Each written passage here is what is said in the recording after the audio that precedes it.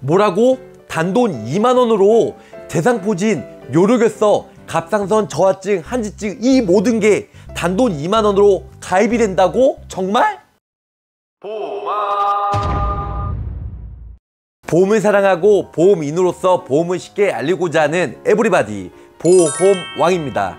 구독자님, 미래 구독자님 감사 감사 감사드립니다.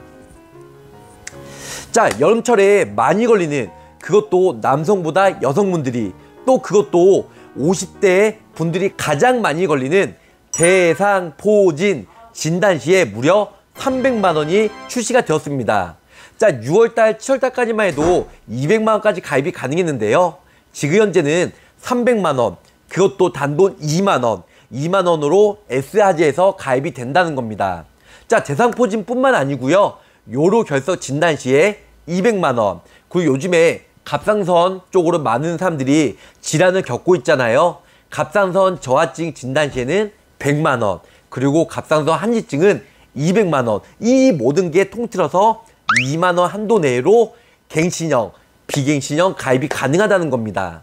자, 대상포진 같은 경우는 겨울보다 여름철에 많이 걸리고요.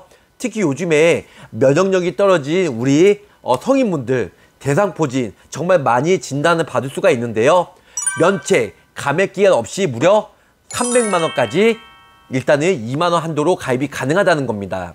자, 많은 분들이 대상포진 진단비 2만 원이면 커피값, 어, 스타벅스 커피값 3, 4잔밖에 안 되기 때문에 얼른 연락 주시면 감사 말씀 드릴게요. 이 모든 게 2만 원에 가능하다